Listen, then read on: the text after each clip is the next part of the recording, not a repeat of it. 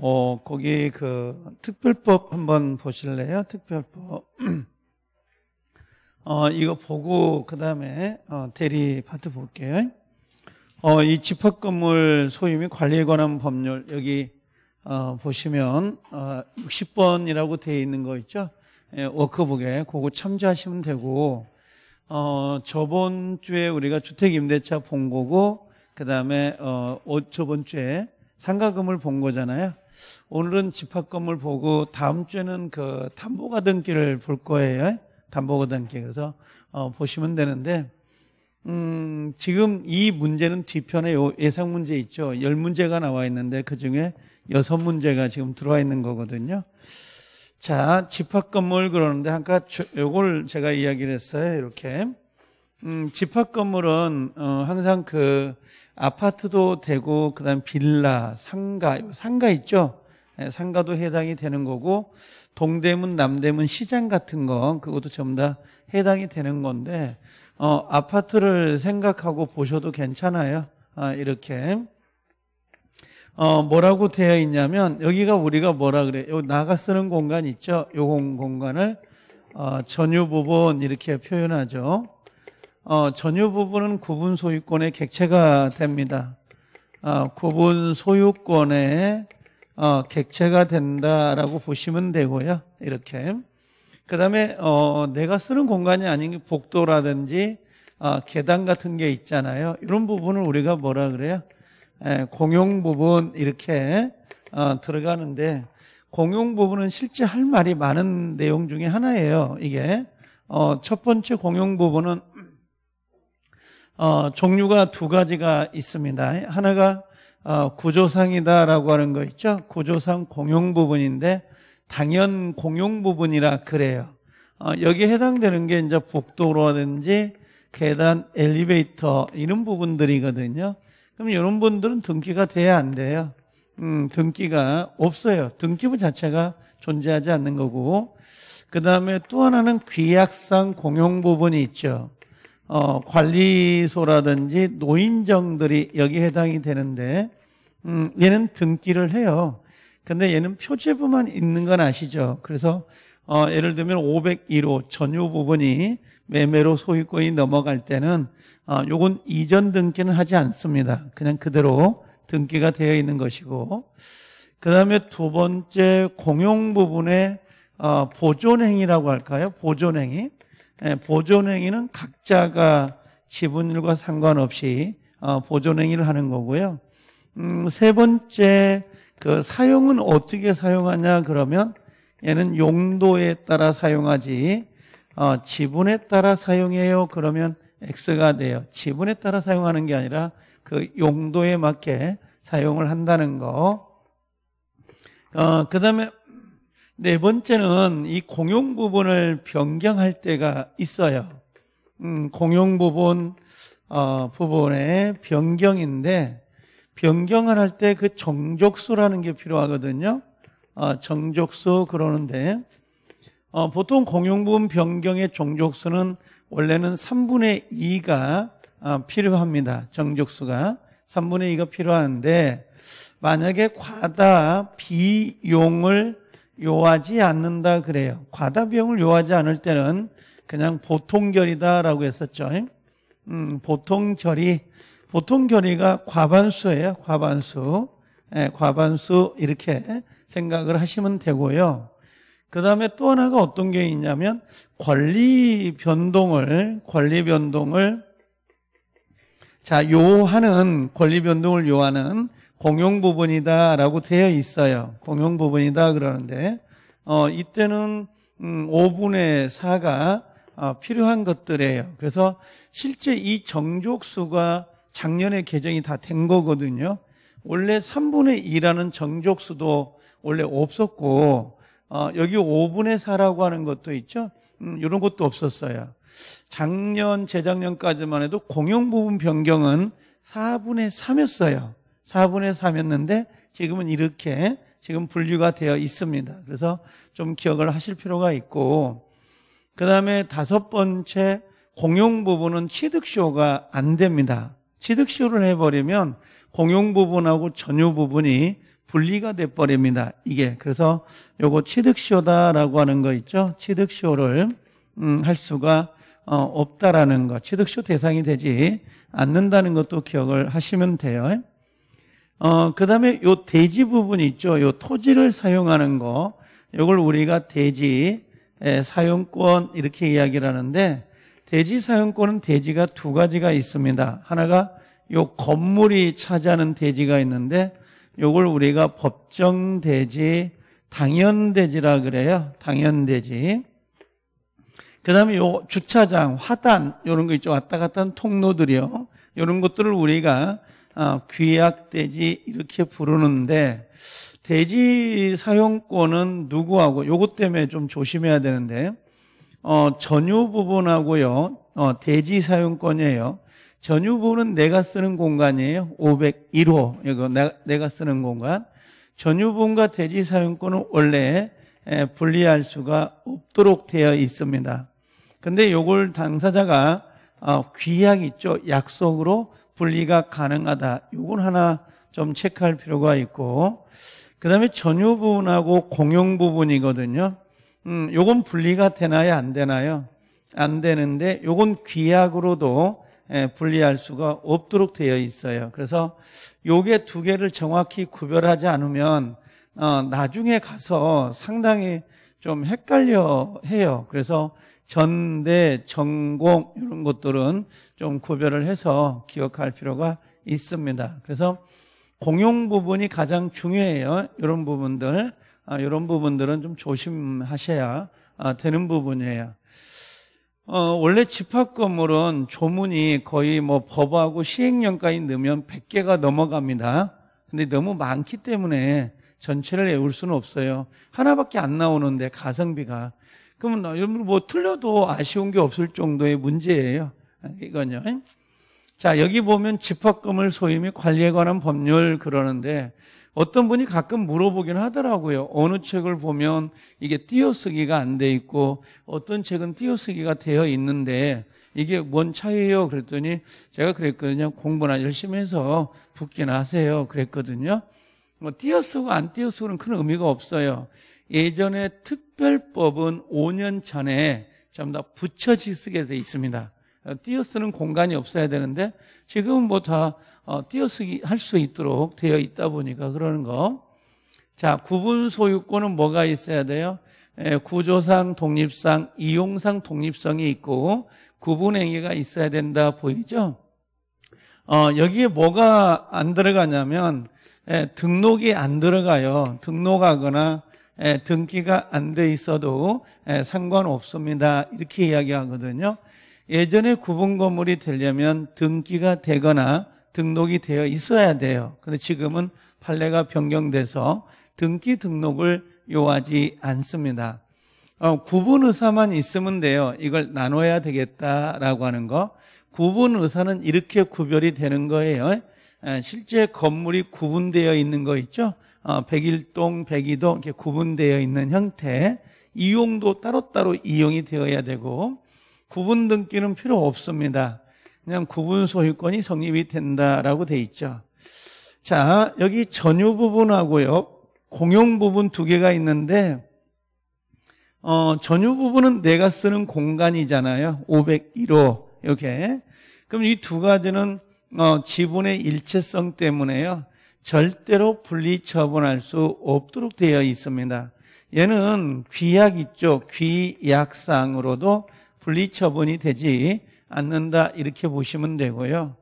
자, 여기 공용 부분에 관한 지분은 그가 가지는 전유 부분 처분에 따른다 그랬어요. 501호가 경매로 넘어가면 공용 부분도 같이 넘어가는 거지 따로 분리 처분이 되는 것은 아니에요.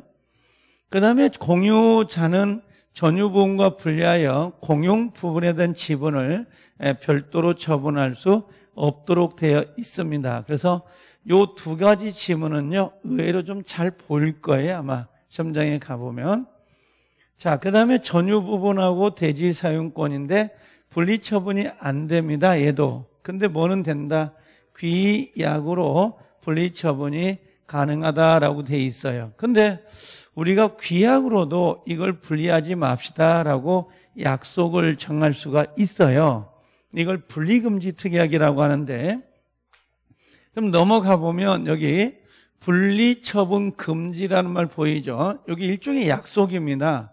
우리가 그 전유 부분하고 대지 사용권을 분리하지 맙시다라고 이렇게 처분 금지를 약속을 할 수가 있어요. 그럼 그 치주를 뭐 함으로써요? 등기하지 아니한다면 선의 제3자에게 주장하지 못한다 이렇게 돼 있는데 이걸 하나 예를 들어보면 이런 거 한번 생각해 볼래요? 우리가 그 공유에 가보잖아요. 공유. 어, 공동 소유, 공유, 합유, 총유 할 때게 갑이라는 사람, 을, 병이 있는데요. 세 사람이 이 토지를 우리가 공유입니다. 근데 우리 이거 분할하지 말자. 어, 분할, 여기 분할, 예, 금지 특약을 해놨어요. 어, 특약이라는 건 약속을 한 거죠. 야, 우리 5년간 우리 이거 분할하지 말자. 분할 금지 약속을 해놨는데 이 병이라는 사람이 지분을 팔았어요. 정이라는 사람에게 음, 지분이 매매가 된 거죠. 그때 이 정이라는 사람이 새로운 공유자가 오셔가지고 야 우리 토지 분할하자 분할하자라고 청구가 들어가 버렸어요. 이렇게 그럼 요 갑이나 을이라는 사람이 야 우리 병이 있을 때 분할 금지 약속을 했다. 분할 안 된다라고 주장을 분명히 할 거예요. 그럼 이 친구가 뭐라고 하냐면 야 특약은 너희들끼리 약속이지 너희들 등기 됐니? 이렇게 물어볼 거예요. 등기가 됐니? 이렇게 물어봐요. 그게 무슨 말이에요? 이 분할금지 특약은 자기들끼리 약속이지 외부에다가 그 권리를 주장하려면 등기가 되어 있어야 돼요. 등기가 안 돼 있으면 주장이 안 되는 거예요. 이걸 어, 제가 아까 어, 그 말을 했었거든요. 전세권 같은 경우는 등기가 되어야 성립이 돼요. 그럼 전세권 등기가 되면 누구나가 등기를 대보면 전세권 등기가 되어 있음을 알죠. 그럼 전세권자는 누구에게나 그 전세권을 주장할 수 있어요. 근데 임대차는요, 계약이기 때문에 둘 간의 합의만 되면 성립이 돼요. 등기가 안 된, 등기를 안 해도. 그러면 임대차 같은 경우는 등기가 안 돼 있다 보니까 누군가에게 대항할 수가 있어요, 없어요? 없는 거야. 자기들끼리 약속이기 때문에. 그래서 합의, 특약, 설정, 이런 합의, 특약, 이런 것들은 당사자의 약속이기 때문에 등기가 안 돼 있으면 제3자 선의에게 주장할 수가 없도록 돼 있어요. 어, 똑같아요. 이 지문도 분할금지 특약을 했다 하더라도 등기가 되어 있지 않으면 선의 제3자에게 주장하지 못합니다. 야, 우리 분할하지 말자고 했다. 분리처분하지 말자고 약속을 했거든. 그러니까 넌 소유권 취득 못해. 라고 주장을 못한다. 이런 의미예요. 자, 그 다음에 관리단이라고 하는 게 있고 관리인이 있거든요. 관리단은 구분 소유자 전원으로 구성이 되어 있습니다. 전원으로 구성되어 있고 당연 설립이에요. 그러면 구분 소유자 전원이기 때문에 여기 임차인이다라고 하는 거 있죠? 예, 임차인, 전세권자들은 당연히 여기 해당이 되지 않고요. 당연 설립이다라는 거 보인가요? 어떤 절차를 요하지 않습니다. 권리 능력 없는 사단이라고 하는데 이걸 우리가 총유라고 생각하면 돼요. 공유, 합유, 총유, 총유 이렇게 보시면 되고요. 자, 관리인이 그의 재산으로 채무를 완제할 수 없을 때 구분 소유자는 지분의 비율입니다. 균등이 아니고 지분의 비율로 관리단의 채무를 변제할 책임이 있습니다. 이렇게. 자, 그 다음에 관리인이라고 되어 있는데 관리인은 어, 두 사람을 좀 기억하셔요. 1번하고 그 다음에 3번을 기억하시라 그러는데 구분 소유자가 몇 명 이상이에요? 10명 예, 이상이면 선임하여야 한다라고 해서 음, 예, 필수 기관인데요. 어, 얘도 필수 기관입니다. 필수 기관인데 어, 둘 차이점은 뭐냐면 관리단은 집합 건물이면 세대 수와 상관없이 무조건 있어야 돼요. 근데 이 관리인은 10인 이상, 10세대 이상일 때 두는 곳이고 만약에 7세대, 8세대 그러면 관리인이 존재하지 않습니다. 이런 거 음, 차이점은 있다는 거고요. 어, 관리인이 부정행위를 할 수가 있잖아요. 뇌물 같은 걸 받을 수가 있는데 그때는 법원에다가 해임 청구할 수 있도록 되어 있고요. 자, 관리인은요, 구분 소유자 일 필요는 없다라고 되어 있습니다. 뭐, 임차인도 되고요. 전세권자도 되는데, 여기 관리인은 반드시 누구라고 그랬어요? 구분 소유자, 예, 전원으로 구성된다 그랬죠? 여기는 뭔가 구분 소유자가 아니어도 상관이 없다 그랬습니다. 음, 차이점이 좀 있다는 거고. 그 다음에 관리위원회라는 걸 둘 수가 있는데 관리위원회는 관리인을 그 업무를 있죠, 업무. 음, 업무를 감독한다라고 보시면 될 거예요, 요게. 근데 관리위원회는 어, 의무기관이에요. 둘 수도 있고, 안 둘 수도 있고, 임기는 2년이고요. 구분 소유자 중에서 선임이 됩니다. 구분 소유자. 어, 관리인도 귀약이 어, 따로 없다면 보통 임기는 2년으로 에, 되어 있다 이렇게 보시면 돼요. 그래서 관리인도 임기는 2년입니다. 다른 규정이 없으면 자 그래서 이렇게 하나 정리하는데요.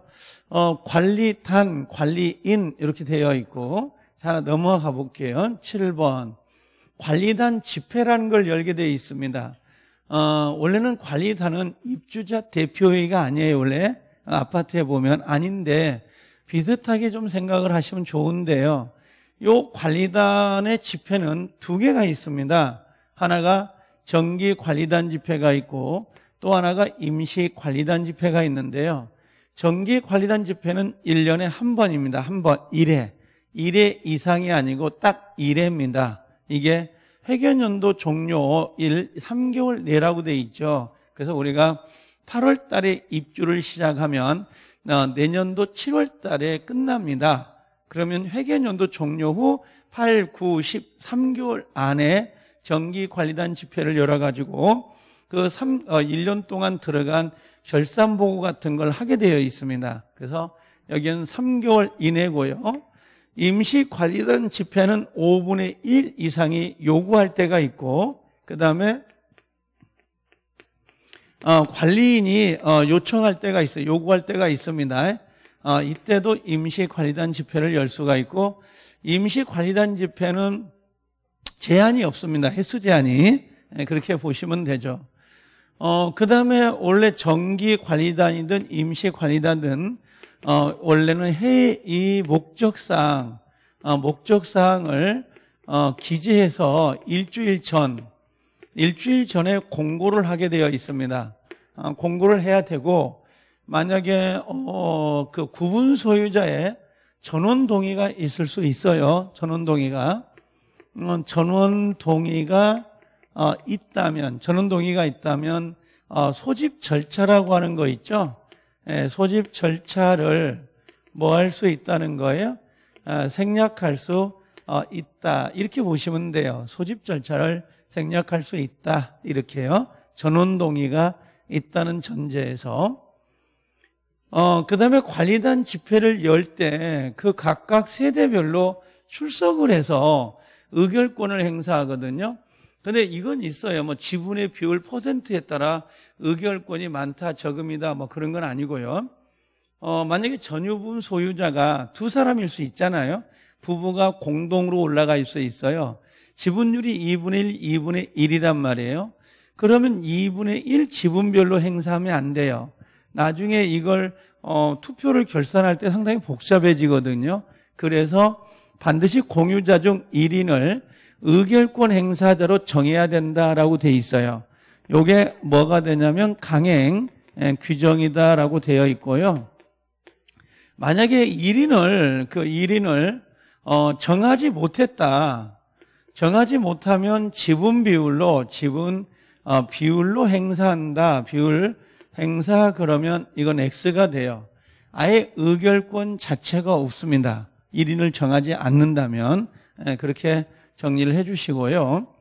그 다음에 여기 공용 부분, 요 공용 부분 보인가요? 공용 부분에 관하여 체납된 관리비는 특별 승계인도 승계가 된다라고 돼 있고, 어, 전유 부분이죠. 전유 부분에 예, 관리비하고 그 다음에 공용 부분 관리비의 연체료, 연체료라고 하는 거 있죠? 어, 연체료도 역시 뭡니까? 아, 요건 승계가 되는 건 아니에요. 예, 순수한 공용 부분 부분에 대해서만 승계가 되는 거예요. 그래서 여러분들 어, 여기도 보니까 많이 나와 있더라고 김포도요. 그 네이버든 다음이든 가시면 그 부동산 경매가 있어요. 경매가 그 다음 경매 같은데 보면 경매가 나와 있는데 예를 들면 경매를 보다 보면 어느 어디 아파트 시세가 얼마고 감정가가 얼마인지를 거기를 가보지 않아도 다 나와요. 김포에도 상당히 많습니다. 이런 아파트들이. 그럼 내가 만약에 아파트를 경매로 낙찰을 받고 가서 관리비를 내야 되거든요. 전 소유자가 체납된 관리비가 있으니까 그 체납된 관리비에서 전유 부분이나 연체를 빼고요. 순수한 공용 부분 관리비만 부담을 합니다. 내가 연체를 한 게 아니죠. 전 소유자가 연체를 했지 내가 연체한 게 아니기 때문에 연체료는 포함되지 않습니다. 자, 그 다음에 조심해야 될 건 이전에 그 전 구분 소유자들의 채무가 면책되는 게 아니에요. 즉, 만약에 갑이라는 사람이 관리비를 체납했고 뒤에 있는 사람이 이걸 매수했다. 그럼 이 사람이 혼자서 이 사람이 체납된 관리비를 혼자 부담하는 게 아니고 둘이 연대 책임을 져요. 연대해서 책임을 지는 거지. 어, 전 구분 소유자의 채무가 면책 어, 없어지는 건 아니다. 그래서 여기에다가 어, 연대 책임을 어, 진다라고 보시면 돼요. 연대 책임을 부담한다라고 되어 있습니다. 자, 정족수하고 나오는데 이 정족수를 어, 올해 좀 조심을 하세요. 작년에 정족수가 개정이 돼서 올해 첫 데뷔하는 거거든요. 그래서 좀 나올 수도 있으니까. 어, 재건축인데요. 이 재건축은 원래 에, 건물마다입니다. 건물마다 얼마가 필요해요? 에, 5분의 4가 필요하고 권리 변동을 요한 겁니다. 권리 변동을 요하는 공용 부분 변경은 역시 5분의 4.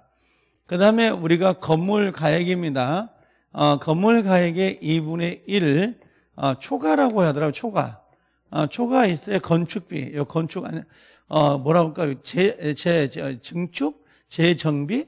어, 2분의 1 초과되는 공사비라고 생각하면 되는데, 이런 것들은 5분의 4가 필요해요.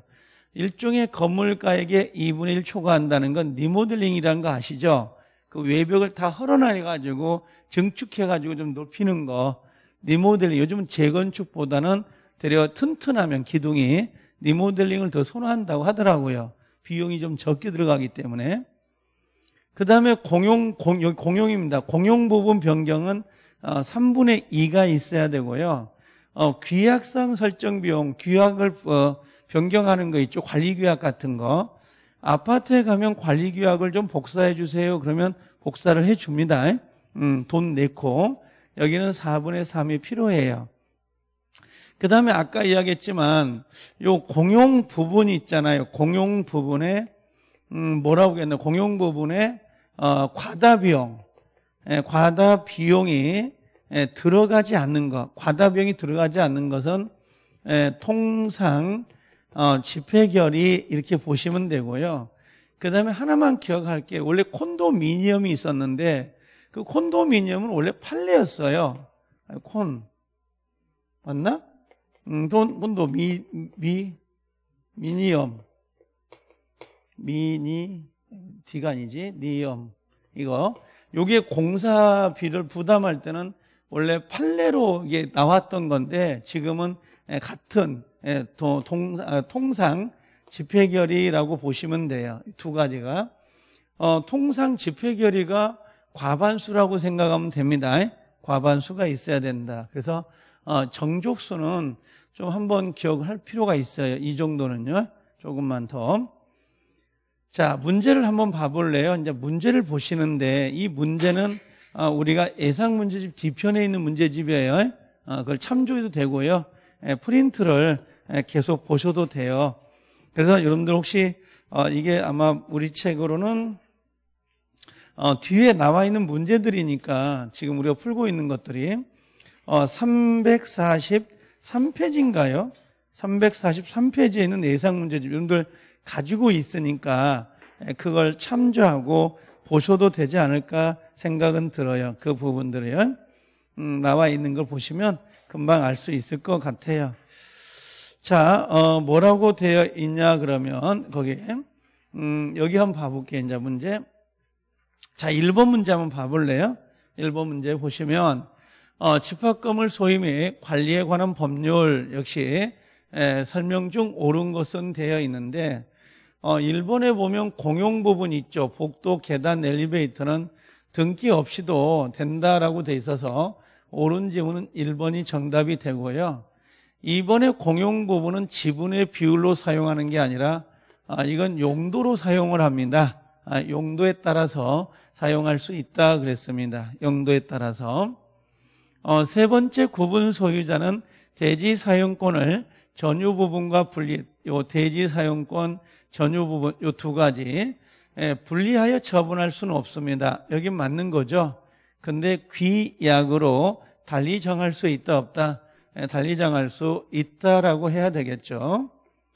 자, 관리인은 구분 소유자 중에서 예, 선임해야 된다 X죠. 어, 관리인은 구분 소유자가 아니어도 돼요. 임차인도 되고 상관없습니다.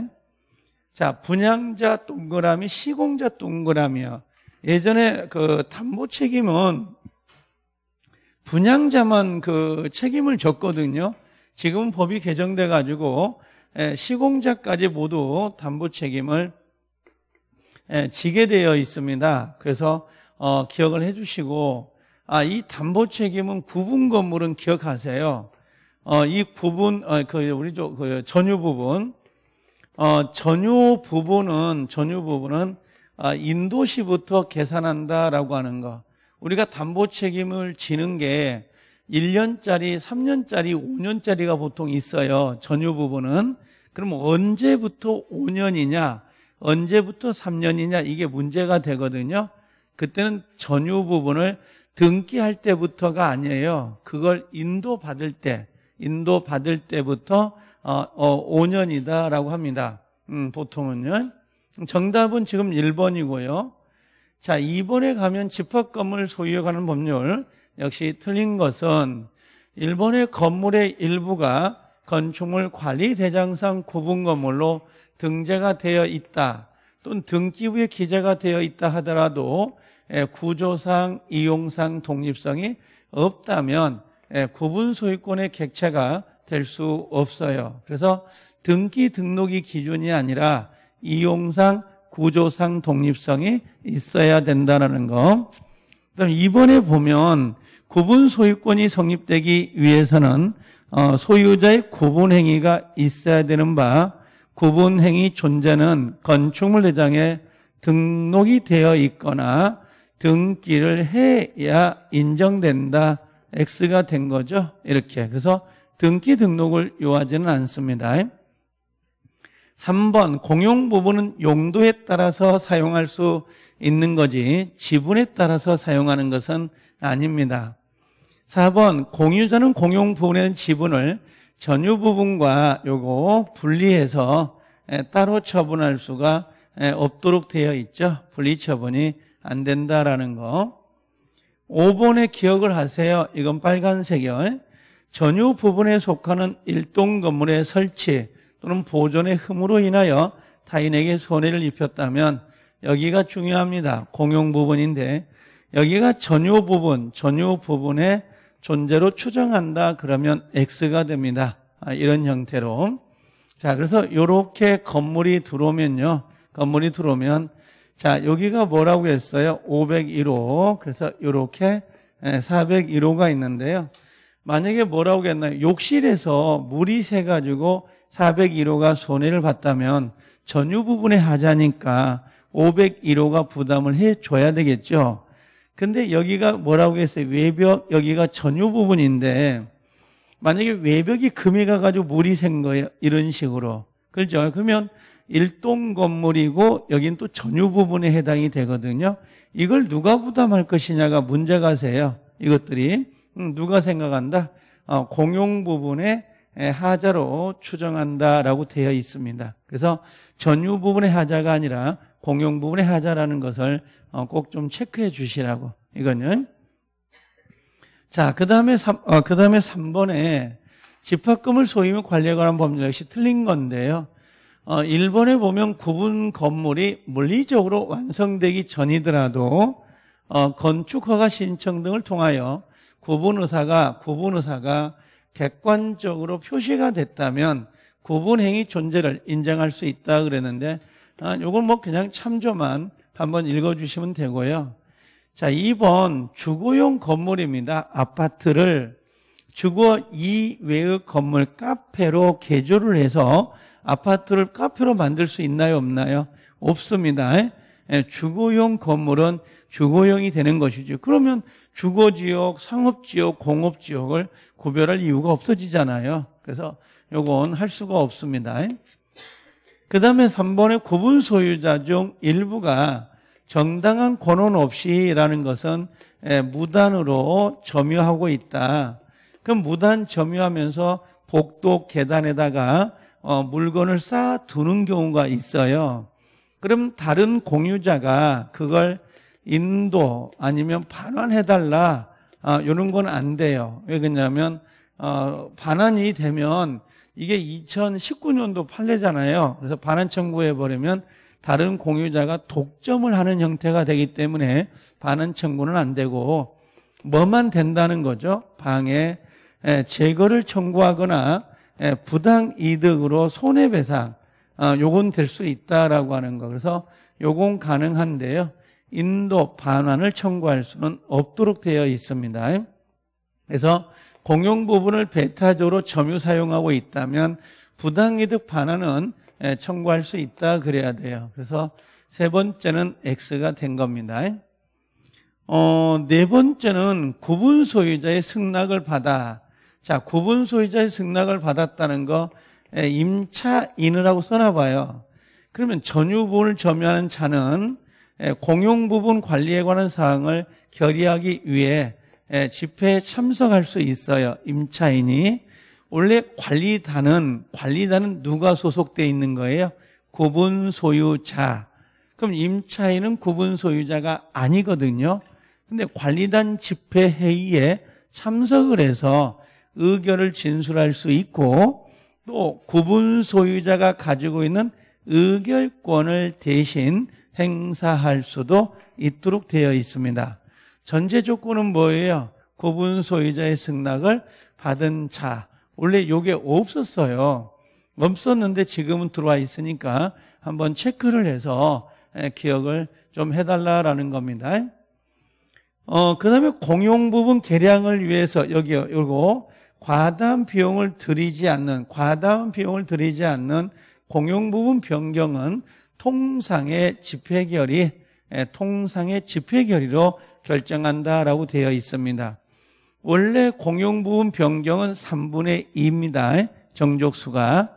그 다음에 권리 변동을 요하는 공용 부분 변경은 5분의 4가 필요한 거고, 근데 여기처럼 과다한 비용을 요하지 않는다면 통상 집회 결의로 어, 결정할 수 있도록 되어 있습니다. 어, 3번은, 어, 3번이 정답이 되는 거고요. 자, 4번에 가볼까요? 어, 집합금을 소유에, 어, 소유, 관리에 관한 법률 중 어, 옳은 것은 되어 있는데요. 일본의 공용 부분은 성질 구조상 당연 공용 부분이라는 게 있어요. 이 당연 공용 부분이 에, 복도, 계단, 어, 엘리베이터인데요. 당연 공용 부분은 뭐가 된다는 거죠? 얘는 당연 공용 부분은 에, 등기해야 안 해요. 음, 안한 거고 귀약상 공용 부분은 관리소라든지 노인정인데 얘는 뭐예요?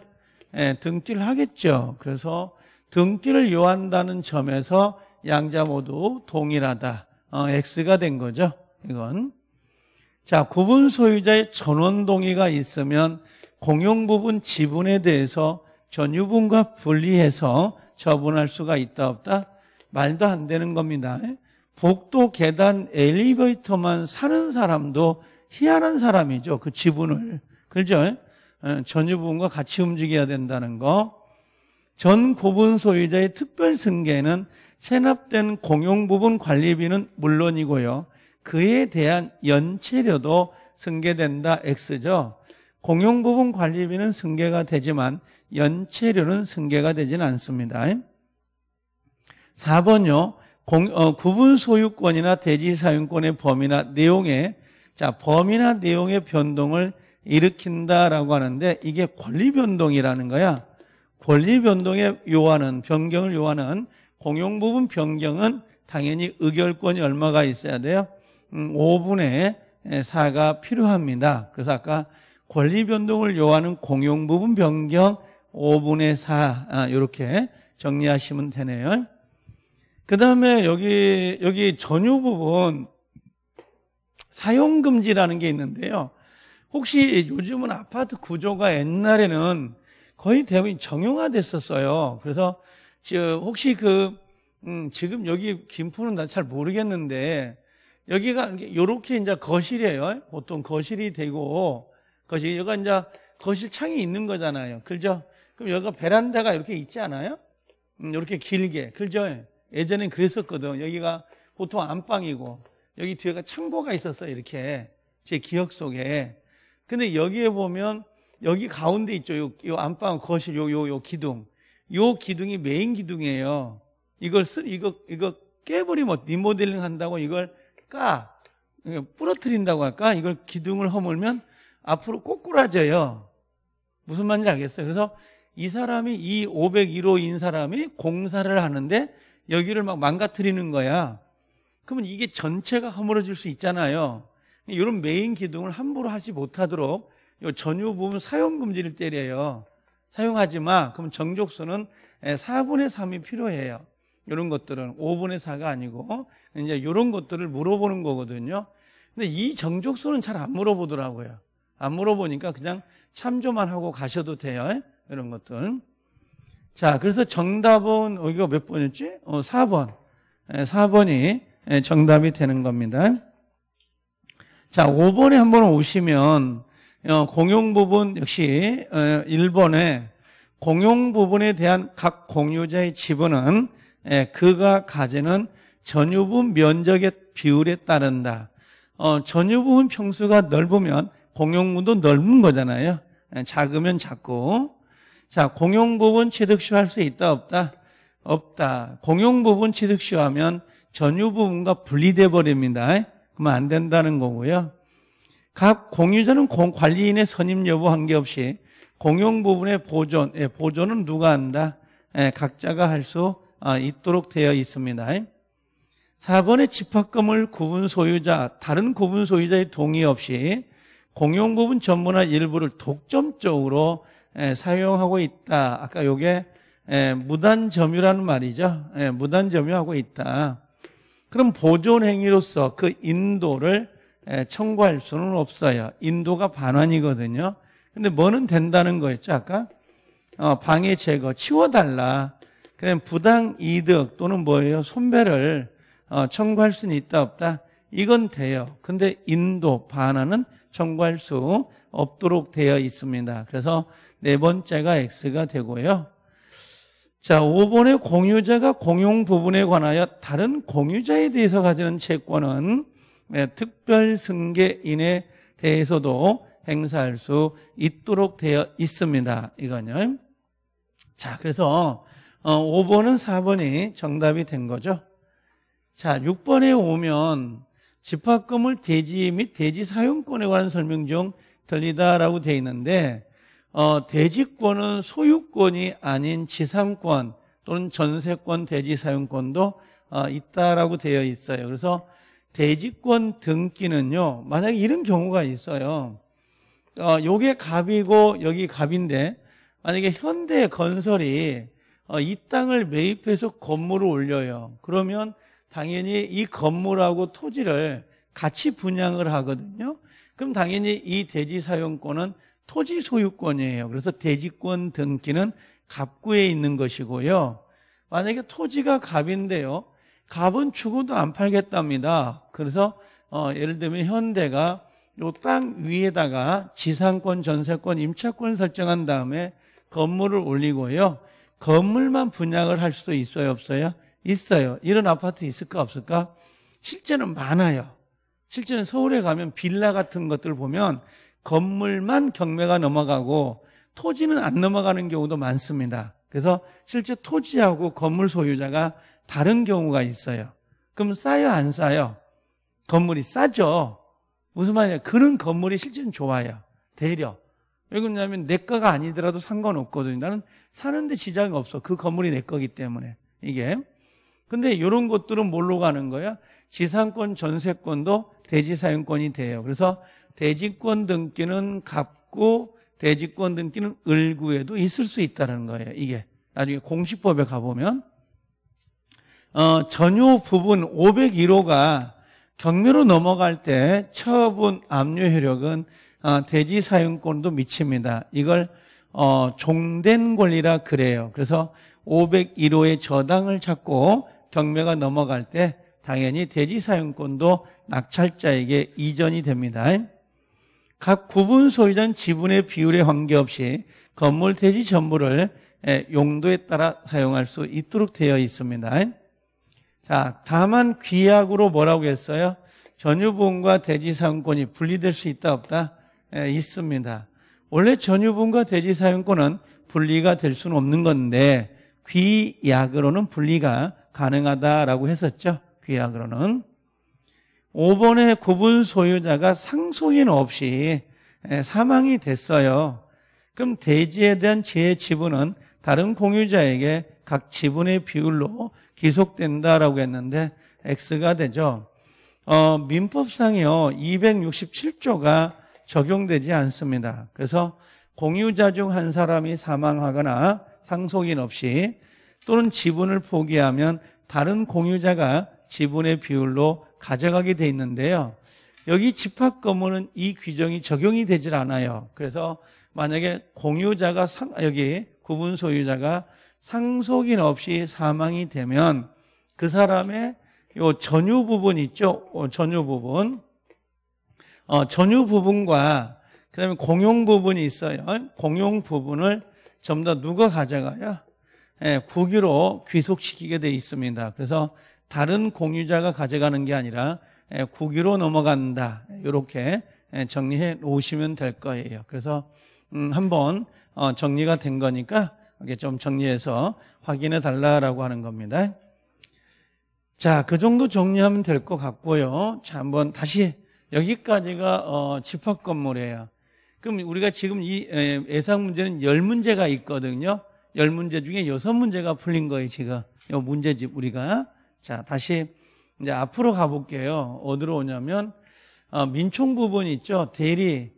대리가 우리 팠던가요? 대리? 읽고 와라고 했던가? 자, 문제만 좀 풀어볼까요? 여기. 어,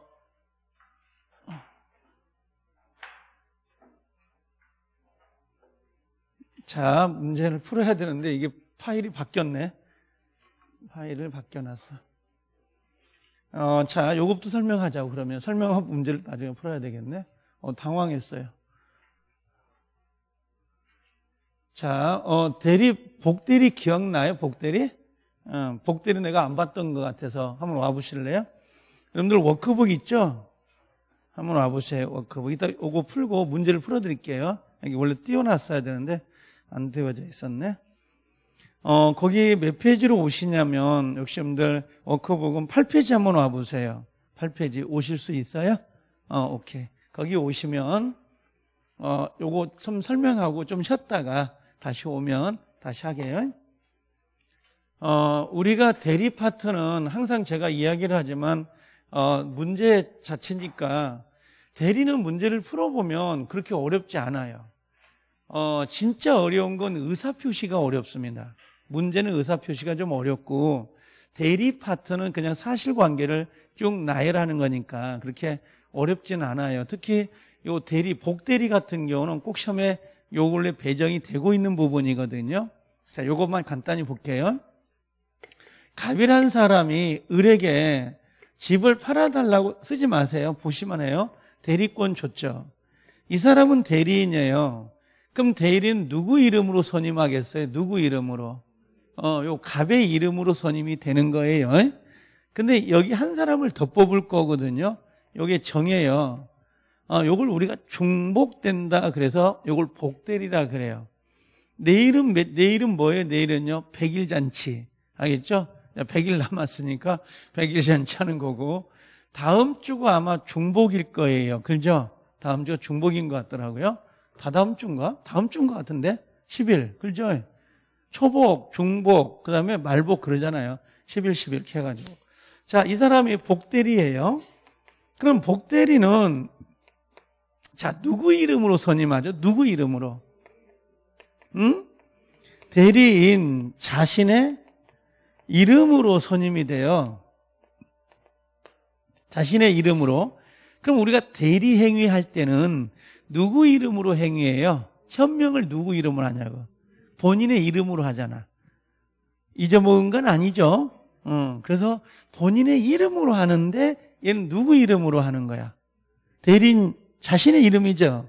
그럼 복대리를 선임하는 행위는 대리 행위다 아니다.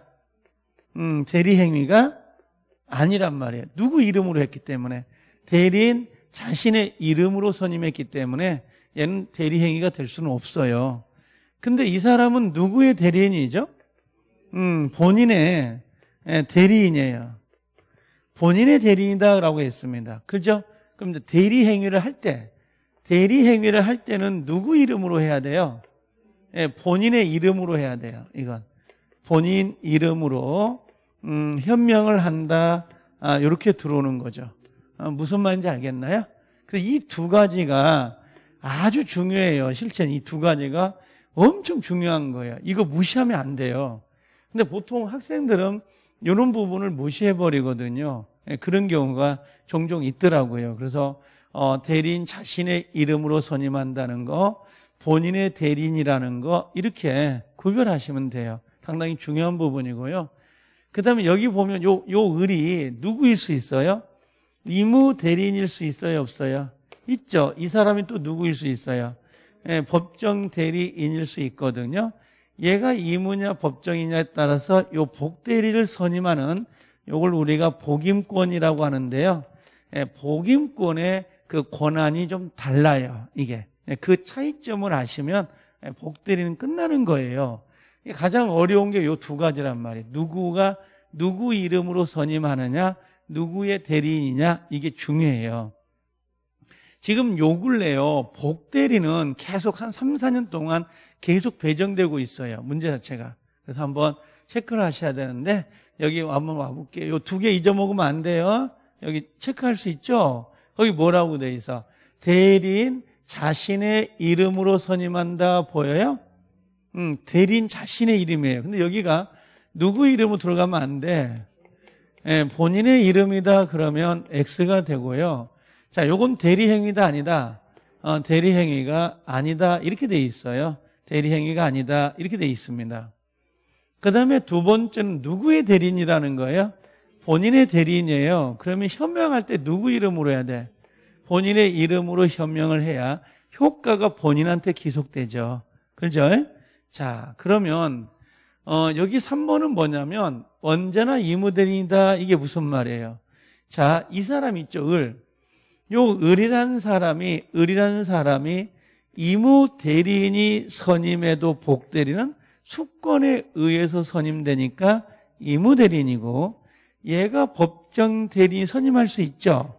그래도 그래도 얘는 이무 대리인이에요. 항상 성질은 이무 대리인의 성질을 갖는다 이렇게 보시면 돼요. 얘가 법정 대리인이면 복 대리도 법정 대리인의 성질을 갖는다 그런 건 아니라고요. 복대리는 법의 규정에 의해서 선임되는 게 없어요. 전부 다 수권에 의해서 선임되기 때문에 복대리 이, 이 성질은 항상 이무대리예요. 수권행위. 수권행위에 선임되기 때문에 그래서 이건 언제나 뭐라고 돼 있어요? 이무대리입니다. 그러는 거야. 복대리 성질이. 자, 그 다음에 두 번째. 만약에 법정 대리인일 때하고 이무 대리일 때 얘들은 복임권이 좀 달라요. 복대리를 선임하는 권한이 좀 다르다. 이 법정 대리는요, 언제나 선임해요. 그럼 언제나 선임된다는 건 무슨 말이에요? 음, 오케이. 자유롭게 예, 선임할 수 있다, 없다? 있다는 거야. 자유롭게 선임할 수 있는데 얘가 뭐라는 거야? 그만큼 책임은 예, 무거워요. 그래서 무과실. 과실이 없어. 그러니까 얘가 복, 법정대리인데 복대리 선임했잖아요. 그러면 행위를 했죠. 근데 본인한테 귀속되죠. 본인이 손해가 생긴 거야. 손해가 생기면 당연히 얘는 얘한테 책임을 물을 거란 말이에요. 너는 왜 그런 애를 뽑아가지고 그런 행위를 시켰냐? 네가 물어줘. 그럼 이 을이라는 사람이 나는 최선을 다했습니다. 손해가 안 생기도록 그래도 책임을 져야 돼. 왜? 무과실이니까. 과실 여부를 따지지 않고 무조건 책임을 진다라는 게 무과실이에요. 자, 그러나, 그러나 법정 대리인이 부득이한 사유로 복대리를 선임하는 경우가 있어요. 대리인이 질병을 걸려가지고 질병이 생겨서 일을 할 수가 없다. 그럼 복대리를 선임하는 경우가 있거든요. 그때는 무슨 책임으로 가요? 선임과 감독의 책임이라고 해서 요게 과실 책임이에요. 그럼 원래는 뭐예요? 원래는 무과실 책임이죠? 근데 뭐가 된 거야, 이제? 예, 선임과 감독상의 책임으로 책임이 뭐예요? 경감된 거죠. 그죠? 그 이유가 뭐예요? 부득이한 사유로 선임이 되면. 자, 이무 대리는요, 원래 얘는 복인권이 있어요, 없어요?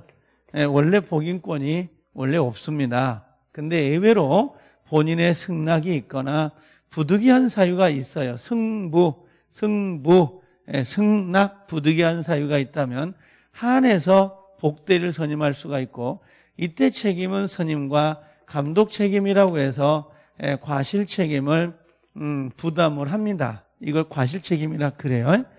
근데 본인이 지명을 했다란 말 보인가요? 지명을 했다는 게 무슨 말이에요? 지명을 했다는 건 어, 얘가 복대를 선임하려고 했더니 갑이라는 사람이 그럼 그 정이지 정, 걔 시켜라 걔 정을 시켜라고 지명을 해준 거야. 그럼 지명을 해줬다는 것은 요 대리인이 선임한 게 아니에요. 선임한 게 아니라 본인이 선임한 거나 마찬가지라고. 그렇죠? 그럼 뭐야? 얘가 행위할 때 본인이 손해가 생기지 않도록 감독만 잘해라 이 말이에요. 그래서 본인이 지명을 하면 감독 책임만 있고 여기에 선임 책임은 있다 없다? 예, 없어요. 근데 현장에 가면 본인이 지명하면 선임 책임은 없고 감독 책임이 있다 이렇게 나오면 좋은데 그렇게 시험에 나오질 않아요. 어, 그 어떻게 나오냐? 이 복대리가 뭐예요? 불성실해. 정확히는 그거예요. 복대리가 그 일과 안 맞아. 부적임. 부적임 또는 불성실함을 알고 통지하지 아니하거나 해임하지 아니하면 책임을 진다. 이게 선임 책임은 없고 감독 책임이라는 그 내용이에요, 지금. 근데 그 전체를 외우려면 좀 어려우니까 그냥 여기다가 뭐라고 써요? 예, 불성실. 예, 불성실함을 알고 뭐 하지 않았다? 예, 통지하지 않았다. 이렇게 기억하세요. 이게 뭐라는가, 이게 감독 책임. 그래서 나중에 시험장에 가면 아, 불성실 통지하지 않았네? 어, 그거 감독 책임이야. 이렇게 연상을 하면 애울 양이 좀 줄어들거든요. 이게. 정말 애울 건 애우셔야 돼요. 진짜 귀찮더라도 꼭 애우세요. 안 애우면 정말 점수 안 나옵니다. 이거. 객관식 시험은 이해하는 게 중요하지 않, 중요하지 않아요. 이해하는 거. 그냥 기억을 하는 게 중요하지. 꼭 좀. 어, 이렇게 정리하고. 그 다음에 대리권이 뭐라고 했어요? 소멸됐죠. 대리권이 소멸하면 어떻게 해야 돼요? 복대리도 소멸되는데요. 대리권 소멸 사유가 뭐뭐가 있었죠? 여러분 혹시 사, 사, 예, 성파, 그 다음에 예, 종료하고 어, 철회가 있었죠. 그럼 대리권 자체, 자, 대리인이 파산을 당했어요. 근데 복대리는 아직 파산을 안 당했어요. 그래도 얘는 소멸해요. 왜? 얘가 없어져 버리면 얘도 자동으로 소멸되거든요. 그래서 대리권이 소멸되면 복대리도 소멸되는 거예요. 그 사사성파 종료 차례가 당연히 뭐라고요? 복대리권 소멸 사유도 되는 거라고 그게. 예, 그렇게 예, 일단은 좀 정리를 해 놓으셔요. 이해되나요? 지금 제 말이? 음, 그래서 한 번 들어도 이해가 안 되면 지금 요거 여섯 개 정도는 반드시 외워야 되는 거고 아, 또 하나 있어요. 여기 뭐가 있냐면 이런 건 있죠. 7번 해 가지고 어, 요게 예를 들면 복대리는 복대리인은 누구예요? 어, 대리인의 감독을 받아야 돼, 안 받아야 돼? 예, 당연히 받아야죠. 그죠? 아니면 복 대리인이 책임져야 되는데 이게 요거는 또 어때요? 대리인의 대리권의 범위가 이만큼이에요. 이만큼. 그러면 여기 복대리 있잖아요. 복대리는 이 권한을 넘으면 돼, 안 돼? 안 되는 거야. 왜? 그 대리 파트에서 파생됐기 때문에 그걸 넘어서 행위할 수는 없죠. 네, 그런 것들은. 이게 이제 이런 것들은 지문을 통해서 하나씩 하나씩 봐줄 수밖에 없어요. 내용 자체가. 자, 그렇게 한번 좀 체크를 해놓고 가시면 되고요. 어, 그 다음에 하나만 더 이걸 봐보시면 여러분들 그런 거 없대요? 이런 것들. 한번 어, 정리를 일단 문제를 통해서 봐드릴게요. 어, 요건 어때요? 어, 지금 우리가 여기에 협의회 무권들이잖아요. 대리 파트가 이따 문제를 보면 알겠지만 자, 여기 우리가 무권이에요. 그럼 무권 대리라는 건 권한이 있어요, 없어요? 이게 권한이 없다는 말이거든요. 근데 이 무권들은 크게 두 개로 나눠져요. 크게.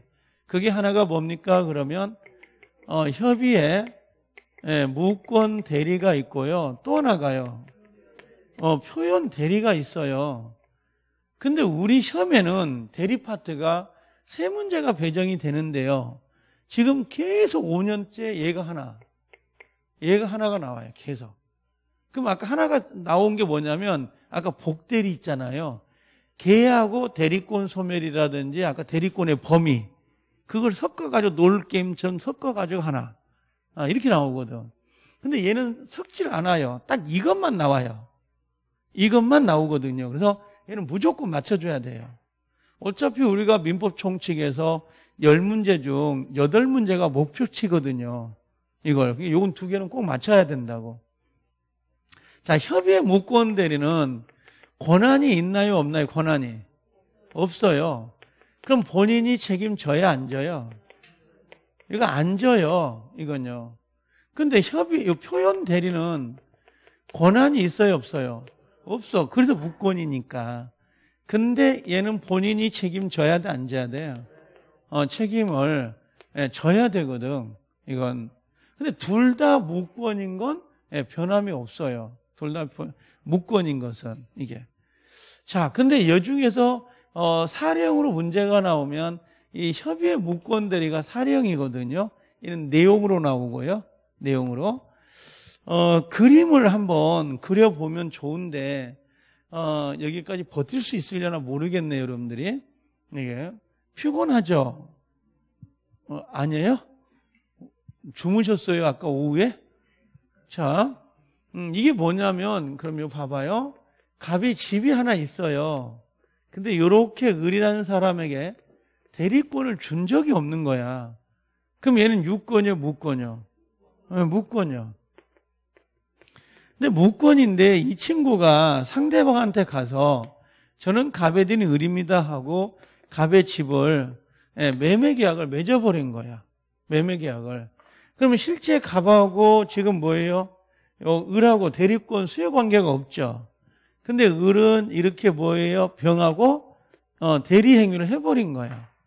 그럼 이 행위에 대해서 누가요? 갑이 책임질 이유가 있다 없다? 없어. 자, 얘가 등기까지 넘겼어. 매매를 해서. 갑의 집이 넘어간 거야. 그럼 갑은 병한테 와서 이 등기에 말소 청구할 수 있다 없다? 음, 있다고. 왜? 대리권 없는 자가 내 집을 병한테 넘긴 거잖아요. 얘 어디가 있을까? 형사상으로는 교도소가 있어.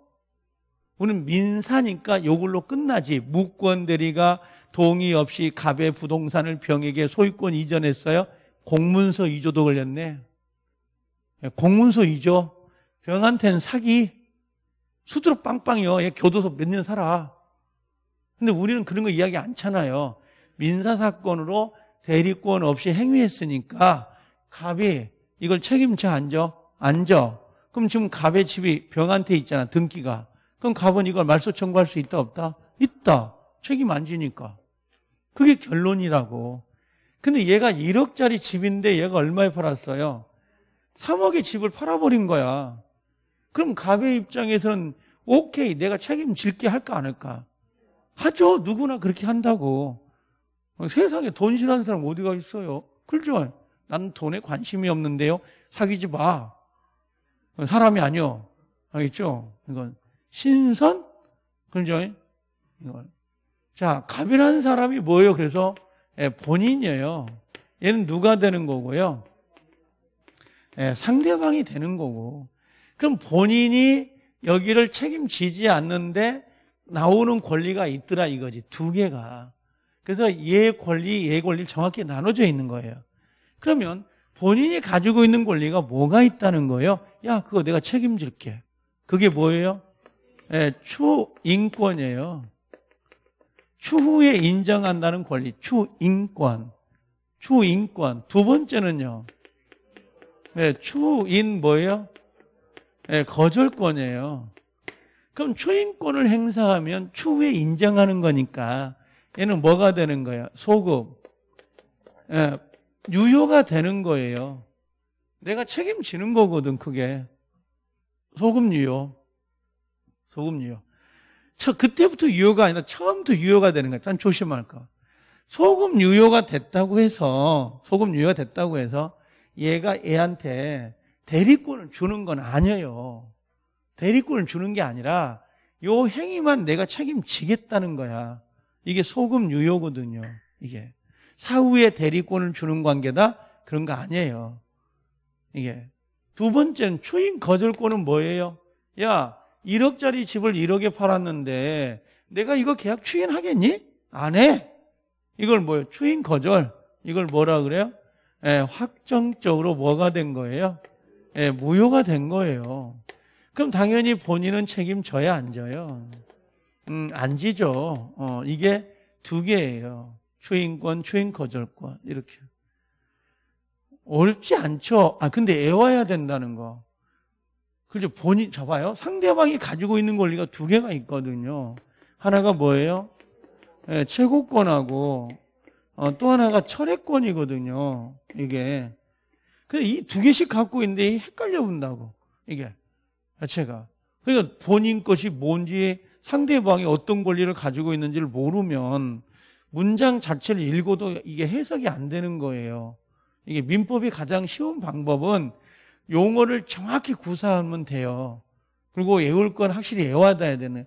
민법이 무슨 법이 논리정연해요? 그건 애운 다음에 논리정연하지. 그죠? 아니, 안 외우면 논리정연하지 않더라고요. 답답하지. 그렇지 않나요? 여러분들 뭐 네이버 같은 데다 네이버 지식인한테 물어보세요. 뭐라고요? 뭐 채권자, 취소권이 뭐냐고 치면요. 사람 돌아요. 몇 줄 읽지도 못해요. 얘가 뭐라고 말하는지를 모르거든요, 이게. 다. 용어가 아주 중요하다고. 우리가, 우리가 그 의사 표시 있잖아요. 의사 표시가 얼마나, 어, 왜 어려운지 아세요? 내가 봤을 때는요, 상할수예요. 상대방이 알았냐, 알 수 있냐, 이걸 해석을 못하니까 얘가 개인 것 같고, 개가 개 같고, 그죠? 이놈이 개새끼가, 아니, 개가 개고, 그렇게 된다고. 농담이 아니에요. 내가 딱 보면 학생들은요, 뻔해요. 상할 수를 모르기 때문에 그러는 거야. 상할 수를 정확히 구사를 못하기 때문에. 거기서 오는 건데, 지식이 부족하다고 생각을 해요. 안 그래요. 지식은 넘쳐요. 근데 상할 수를 쓸 줄 모르는 거야, 지금. 예, 그래서 좀 어려워하거든요, 이게. 자, 최고권은 뭘까요? 최고는요. 최고는 뭐예요? 어, 최고는 요즘 뭐가 나왔어요, 여러분들? 요거 여러분들 그 재산세 내라고 하던데 7월 31일까지. 그죠? 지금 주택 부분, 건물 부분 나왔죠. 어, 만약에 내가 어, 재산세를 7월 30일까지 안 냈어요. 그럼 독촉장 나오지 않을까요? 그게 최고예요. 야, 날짜 지났는데 왜 안 내? 이거예요. 이건 뭐예요? 야, 갑, 을이 내한테 당신 집을 팔았어. 너 어떻게 할래? 이렇게 물어보는 거라고. 최고. 그 물어보는데 이 병이란 사람이 얘가 대리권 없음을 알았냐, 몰랐냐, 무슨 상관이야? 못 먹는 감 찔러나 본다고 물어볼 수 있는 거 아닌가? 그럼 최고권은 뭐예요? 1번. 병이란 상대방이, 어, 선이 대리권 없음을 몰랐다는 거야. 그 다음에 악이 알았다는 거야. 그럼 선악 불문하고 물어보는 건데 행사할 수 있다, 없다? 있다. 아, 물어보는 거라니까. 그래서 내가 농담 삼아 뭐라고 했어요? 길거리 지나가다가 자기에 딱 맞는 뭐요? 이성이 지나가는 거예요. 이성이. 그러니까 근데 가서 물어볼 수 있어 없어? 내가 시간 많은데 어, 차 한잔 할 수 있냐고 물어봐 못 물어봐. 물어볼 수 있죠. 근데 그 옆에 아주 건장해. 그죠? 이게 나시를 입었더라고. 호랑이가 움직이는 것 같아 등짝에. 그죠? 그래도 물어볼 수 있어 없어? 있지. 골목에 가서 맞아 뒤지는 건 나중에 문제고 일단 물어볼 수 있는 거 아니야? 똑같아. 최고는 물어볼 수 있는 거야. 얘가 무권이란 걸 알았냐 몰랐냐 무슨 상관이냐고. 추인할 건지 말 건지 물어볼 수 있지. 그랬더니 갑이라는 사람이 대답을 해야 되는데 이 얘가 대답을 안 해. 본인이. 본인이 확답을 해안 해? 예, 안 하더란 말이지. 이건 추인한 거요. 거절한 거요. 예, 거절을 봐서 확정적 무효시킨다고. 이 두 가지가 중요한 거지. 이게. 자, 철회권은 뭐예요? 철회권은요. 계약 안 하겠다는 거야. 근데 철회권은 누구나 할 수 있는 게 아니야. 얘가 무권 대리라는 걸 모르는 사람에게만 철회권을 행사하는 거예요. 얘가 무권이란 걸 알면서 계약을 했단 말이에요. 알면서 미친 사람이에요. 그럼 뭐예요? 자기가 알면서 무권이라는 걸 알면서 계약해 놓고 자기 마음대로 계약했다가 자기 마음대로 철회했다가 난리굿을 혼자 다 해요. 그럼 되겠어요? 안 되지. 그래서 철회권은 누구만 행사해? 예, 선이 자만 행사할 수가 있도록 돼 있어요. 악이자는 안 되거든요, 이게. 그 다음에 철회권 행사하면 얘는 뭐가 돼, 이제? 예, 확정적 무효가 되고요. 예, 무권 대리인에게, 무권 어, 대리에게, 어, 이거, 어, 무권 대리에게 책임을 물을 수 있다, 없다? 예? 예, 없어요. 책임을 예, 물을 수가 없는 거야, 책임을. 확정 무효, 무권 책임 물을 수가 없다. 자, 근데 여기 보면, 여기 초인권은 소금 유효죠. 그럼 철회권은 뭐야? 확정 무효죠. 그럼 얘하고 얘가 뭐라고 해서 효과가 예, 상반된다 그랬죠. 본인이 초인권은 유효로 되는 거고 철회권은 무효로 되는 거잖아요. 그러면 본인이 초인권을 행사하려면 상대방이 철회하기 전까지만 행사가 되고 거꾸로 상대방이 철회권을 행사하려면 본인이 추인하기 전까지만 가능하다라고 되어 있습니다. 그래서 둘 사이가 어, 추인권은 유효로 하는 거고 철회권은 무효로 하는 거니까 두 개가 충돌이 생기잖아요. 그럼 누가 먼저 행사했냐에 따라서 효과, 무권들의 운명이 바뀌는 건 해요. 바뀌기도 한다. 하나만 더 해볼게요. 자, 이 친구가 얘한테, 얘한테, 어, 책임을 물으려고 그래요. 책임을. 그럼 책임을 물을 때는요, 얘가 요 을이라는 사람이 뭐예요? 어, 얘가 대리권이 증명이 돼 버렸어요. 그럼 얘가 책임져요. 본인이 추인해 버렸어요. 그럼 얘가 책임져요. 상대방이 철회권을 행사해 버리면 책임을 물을 수가 없어요. 그럼 이걸 뒤집으면 대리권이 증명되지 않았을 때 을이 책임져요. 본인이 추인하지 않으면 을이 책임져요. 상대방이 철회권을 행사하지 않으면 얘가 책임을 져야 됩니다. 근데 안타깝게 방금 이야기한 건 안 물어봐요. 왜? 상식이라고 생각하니까. 그럼 뭘 물어보냐? 두 개를 기억하셔야 돼요. 하나는 뭐냐? 요 을이 제한 능력자예요. 그럼 제한 능력자라고 하는 건 누구라는 거예요? 예, 미성년자예요. 그럼 미성년자, 미성년자는 자, 미성년자라면 책임을 물을 수가 없죠. 우리 민법은 얘도 좀 불쌍한 애긴 해요. 대리권 없는 자가 얘를 희롱한 거니까. 그죠? 근데 얘가 미성년자라면 우리 민법은 미성년자를 더 많이 보호해 줍니다. 그래서 얘는 책임을 물을 수가 없도록 되어 있어. 그럼 뒤집어서, 뒤집어서 말하면 얘가 얘한테 책임을 물으려면 제한 능력자, 미성년자가 아니어야 책임을 물을 수가 있다. 이렇게 돼 있어요. 두 번째로는요, 두 번째로는, 어, 얘가 책임을 묻는다 그러는데 책임은 뭐예요? 계약을 이행하거나 예, 손해배상이에요. 계약을 이행하거나 손해배상을 청구할 수 있도록 되어 있습니다. 계약을 이행하거나 손해배상을 청구할 수가 있는데요. 이걸 누가 선택을 한다는 거야? 예, 상대방 병이 선택을 하는 거예요. 상대방 병이 예, 선택을 한다라고 하는 게 바로 요건데 간혹 가다가 무권 대리인 선택을 한다. 그럼 X가 됩니다. 요 두 개가 상당히 조심을 해야 되고요. 그 다음에 여기 자, 요 갑이라는 사람이 아버지고 여기 아들이라고 그랬어요. 근데 이분이 이 충격으로 돌아가셔 버린 거야. 그럼 아버지의 권리 뭐예요? 요 추인 거절권을 상속을 받았다 이렇게 나올 거거든요. 상속을 받으면 을은 요 계약을 추인 거절권을 행사해서 이걸 무효화시킬 수 있냐고 물어봐요. 안 돼요. 왜 그러냐면 자기가 계약을 해놓고 자기가 추인 거절권을 행사해서 무효화시켜 버리면 앞뒤 행동이 안 맞다는 거. 신의칙에 위배된다는 거예요. 그래서 여기는 거절할 수 있다 없다 끝터리가 예, 없다고 나와야 돼요. 여기가 있다 그러면 얘가 틀린 답이에요. 거절할 수 없다. 거절할 수 없다. 그래서 본인이 가지고 있는 거 두 개, 상대방이 가진 거 두 개, 그 다음에 요 책임 두 개, 그 다음에 상속, 아, 요 다섯 가지를 조합을 해서 문제를 내는 거거든요. 그래서 여기 이제 워크북에다가 어, 이렇게 지금 정리를 해 놓은 것들이에요. 이렇게.